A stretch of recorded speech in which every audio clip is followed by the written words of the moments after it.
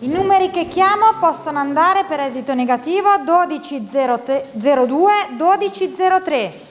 Grazie, arrivederci. È un bilancio positivo quello tracciato dal direttore dell'area Vasta 1, Romeo Magnoni, che questa mattina ha illustrato i dati e i progetti dello screening di massa. Oggi si è concluso quello di Fano, Mondolfo, Cartoceto e Monbaroccio, ma a giorni partiranno i tamponi per altri comuni. Rispetto all'ultima tornata, che era più o meno intorno all'1%, siamo al 0,69% di positività, è un pochettino più bassa. Rispetto alle altre, alle, alla prima tornata di screening abbiamo fatto una mattinata in più per non costringere i dipendenti a riportare tutto la sera tardi, quindi diciamo che siamo, siamo soddisfatti dello, dello screening anche perché come ho sempre detto è, la prova del 9 per quando cominceremo a fare le vaccinazioni di massa a tutta la popolazione. I dipendenti hanno lavorato con entusiasmo, ha detto Magnoni, e i cittadini hanno apprezzato lo sforzo. Sabato poi partirà lo screening per questi 12 comuni. Fino a giovedì 21 gennaio ci si potrà sottoporre al test dalle 8 alle 13 e dalle 15 alle 19. Abbiamo cercato di aggregare i comuni perché sennò era impossibile riuscire a dare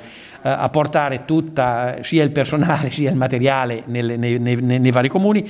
E abbiamo messo che per quanto riguarda i comuni di Coglia del Metauro, Mondavio, Montefelcino, Monteporzio Terrero Vereschi hanno individuato due siti che sono la palestra comunale di Orciano di Terrero Vereschi e il bocciodromo di Tavernelli in località Colle del Metauro. Per quanto riguarda i comuni di Gabicemare, Gradara, Montelabate, Tavuglia, Valle Foglia, Petriano, Montecalvo, in Foglia hanno individuato invece il palazzetto dello sport nel comune di Gradara e il Palavitri a Montecchio di Valle Foglia. Ancora da stabilire invece i presidi per i comuni di Fossombrone, Pergola, Cagli e per le zone del Montefeltro. State valutando anche di utilizzare questi stessi siti per le future vaccinazioni. Si sa già una data, possiamo dare eh, un'indicazione in merito? Allora, ancora la data in merito non l'abbiamo perché prima dobbiamo vaccinare, finire di vaccinare tutti i sanitari, tutti i dipendenti del servizio sanitario, tutti i convenzionati, ma soprattutto i pazienti delle case di riposo e dell'RSA. Quindi in base a quello ci arriveranno anche i vaccini, perché i vaccini sono, è, è, strettamente collegato al numero di vaccinazioni che riusciamo a fare. Ma secondo me eh,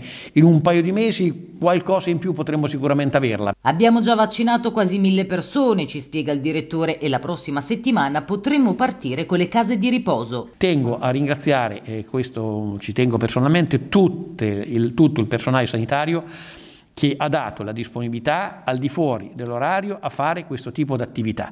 Perché? Perché l'hanno fatto in maniera importante e quindi abbiamo, siamo riusciti a dare risposte adeguate a quello che erano gli impegni regionali sullo, sullo, sullo screening.